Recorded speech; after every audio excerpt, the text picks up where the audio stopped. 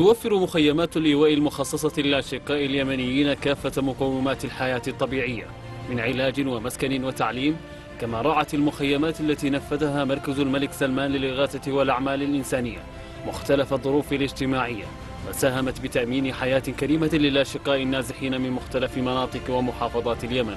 وتضمنت المشاريع خدمات تعليمية شملت إنشاء قناتين فضائيتين تبث نحو أربعة آلاف درس مباشر. يستفيد منها أكثر من مليون طالب وطالبة بالإضافة إلى مشاريع علاجية وبناء وحدات سكنية ومعالجة أوضاع اللاجئين في اليمن.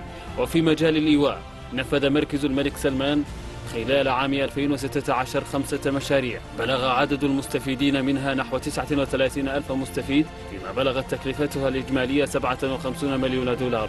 وتشمل تلك المشاريع نقل أكثر من 3000 لاجئ أثيوبي من اليمن إلى أثيوبيا. نفذته الفرق الميدانية للمركز في اليمن وأثيوبيا بقيمة بلغت مليون و700 مليون دولار ونقلت 1240 عالقا يمنيا.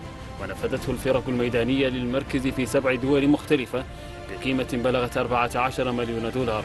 وبدأ المركز ببناء 300 وحدة سكنية مع مسجد ومدرسة في جمهورية جيبوتي بقيمة 3 ملايين دولار ويشمل تقديم المأوى والحياة الكريمة واستمرارية التعلم. كما قام المركز بمشروع تحسين فرص الحصول على التنقل الآمن والحماية وإيجاد الحلول الدائمة للعائدين الصوماليين واللاجئين اليمنيين في الصومال بالتعاون مع المفوضية السامية ومنظمة الهجرة الدولية. وتبلغ تكلفة المشروع عشرة ملايين دولار وينفذ في مقديش ويبلغ عدد المستفيدين منه قرابة عشرون ألف شخص.